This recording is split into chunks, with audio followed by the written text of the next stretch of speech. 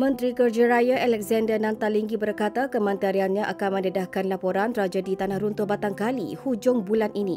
Hasil penemuan itu perlu dibentangkan kepada jemaah menteri sebelum dimuktamadkan bagi membolehkan pihak terlibat mengambil tindakan selanjutnya.